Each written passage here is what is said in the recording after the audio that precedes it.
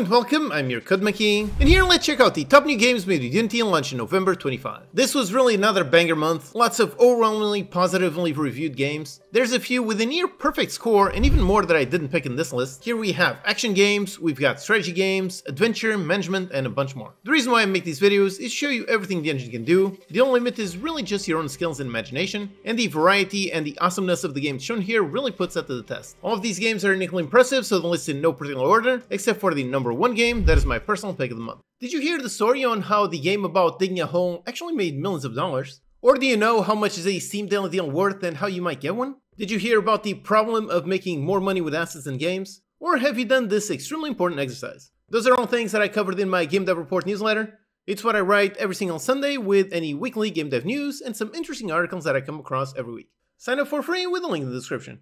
Alright, so starting off at number 10 with a really awesome desktop game called Desktop Defender. Nowadays, there are actually a bunch of these games around. This genre started off with Rusty's Retirement, which, by the way, fun fact, the developer actually said the game originally started because they saw my transparent Unity tutorial video. So anyways, here we have Desktop Defender, which is another game in this desktop genre. This one is a sort of tower defense game mixed with some idle elements. There is a tower in the middle, and enemies come and try to attack it, but your tower is defending. It's very much an idle incremental game. The trailer clearly talks about how the game does not take your attention at all. That's very much a feature. The game just sits in the corner of the screen and automatically fights off enemies, so there's no need to click anywhere, there's no need to aim or focus. Over time, you gain loot that grants you some better abilities. You can then ascend to gain even better upgrades and so on. So the usual incremental genre stuff. You can play with the size of the window and position it anywhere. Honestly, the trailer really kind of undersells the game. It makes it seem very uninteresting, but visually it does seem quite interesting. Definitely a very polished experience. And importantly, players seem to love it. The game is just 5 bucks and is already finding quite a lot of success. It's got over 1000 reviews and yep, they are overwhelmingly positive. So yep, another tiny game that does just one thing and does it very well and players love it. Then here's one that finally launched after a very long time, it's Tavern Keeper. This one had a coming soon page live for two years and now is finally released. It's actually from the creators that made Game Dev Tycoon. This time you're running a medieval tavern, so it's a nice cozy management game with a very robust sandbox mechanics, so you can build basically the tavern of your dreams. You do that while dealing with all kinds of customers, so some are well behaved and others not so much. Your goal is to keep them happy. Make sure to separate your customers if they fight, make sure to clean up if they vomit, then build your tavern exactly the way you want it to be. Manage everything from your tavern, from the big things to the smallest minutia. Maybe the whole thing will go smoothly, or maybe it will all turn to chaos, that's really up to you. A lot of people have been waiting for this game for a long time. Game Dev Tycoon, the game actually came out back in 2013, and they're only publishing their second game right now. This one just launched in early access and is already a huge hit. Over 3,000 reviews, again at overwhelmingly positive. So it's a really great game if you want to run a medieval tavern and have some fun.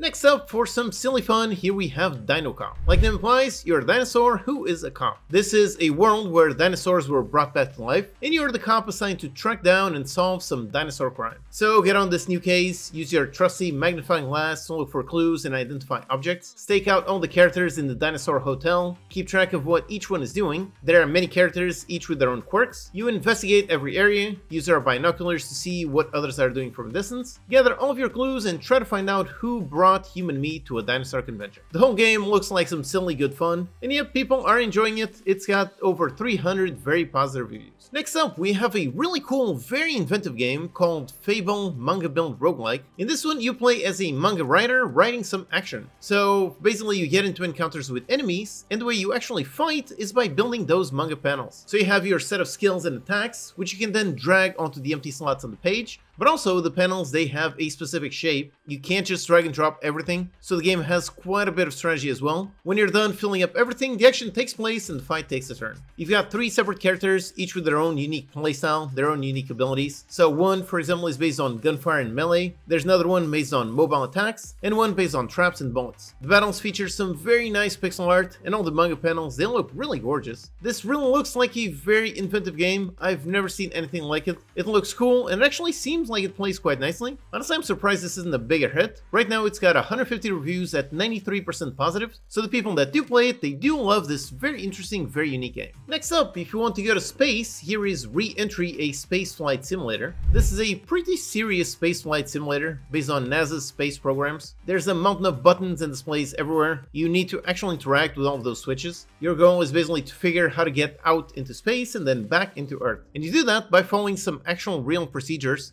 Follow the real pre-flight checklist step by step then you rendezvous and dock on the space station. Again, all while using the controls exactly like they work in real life. This definitely seems like a very serious simulation game. It includes both fictional missions and missions that actually happen in real life. I'm actually surprised that such a simulator game, such a serious simulator game, is actually finding so much success. This one has likely already made over a million dollars in less than one month. It has got a thousand reviews at 97% positive. So yep, this one is basically universally beloved. Next up, here we have another nice incremental game. It is called Maktala's Slime Lootfest. This one is very much an incremental game, exactly the type of genre that is popular nowadays. This one seems to be very well made. As always, you start off quite simple, just dealing a tiny bit of damage to some tiny simple slimes. Then you buy some upgrades that lets you deal more and more damage. After a bit, you gain some skills that can chain projectiles like crazy, and soon enough the whole thing is insane. You've got tons of projectiles flying all over the place. There are also multiple types of slimes, there's lots of regular ones and some special shinies. So it is very much a game just to enjoy yourself for a few short hours and that's it. The game is out now with 500 very positive reviews. Then here we have a nice indie game sequel. It's Moonlighter 2, The Endless Vault. The original game was actually a pretty big hit back in 2018. It was a nice, unique game, and this one uses very much of the same formula. It's basically a game with two sides. So first, it's an RPG where you go out and fight off all kinds of creatures, and then you return back home, back to your shop, in order to sell your loot. Over time, you grow your shop, you play around with weapons and gadgets, and then dive deeper into harder and harder dungeons. The shop needs to be very well built as well. It's really up to you to set up how it's all organized. You can decide all the prices and really score the perfect deal. As you make money, you can also invest in the other townsfolk so they can give you better items and equipment. So the game has a nice repeatable loop where you go out, defeat enemies, get loot, get money, and keep improving. Indie sequels are pretty rare, so it's nice to see one that is finding quite a bit of success. This one just launched into early access and already has over a thousand very positive reviews. So if you want to fight enemies and run a shop, if so then give this a try.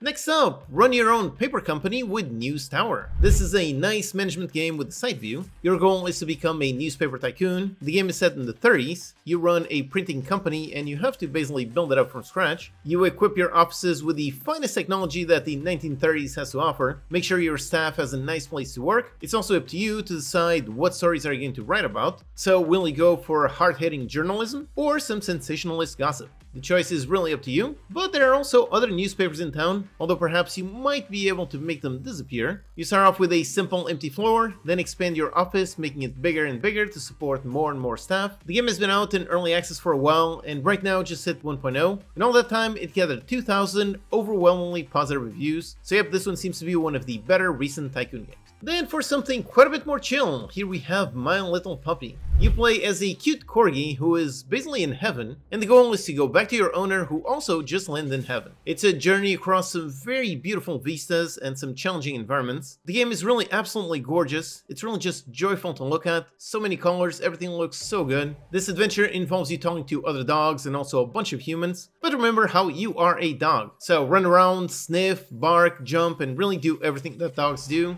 It really looks like a fun, very good time. It is out now and has 500 very positive reviews. And at number one for my personal pick of the month, here we have Cleared Hot. This one looks really awesome. I've been following gifs of this game on Twitter and Reddit for several years, I think. It always looks really awesome. This is very much an old school helicopter game. I remember playing Soviet Strike on my PlayStation as a kid. I believe this is very much inspired by that. It definitely has a nice dose of nostalgia. The game is super well made, everything looks satisfying. You can man your helicopter and go into action, dodge missiles in midair, pick up cars and drop them off somewhere. You can fire your own missiles and bullets to take out all the enemies. There's plenty of action to choose from. You can also choose from 8 different playable helicopters. You can play in the day, play some night missions, all of them across 3 biomes. The main thing is really how the helicopter looks like it's so satisfying to play. It looks like it has some excellent controls. Based on the reviews, it looks like it is indeed very well made. In just two weeks, it already has 1600 reviews at 98% positive. That's basically a perfect score,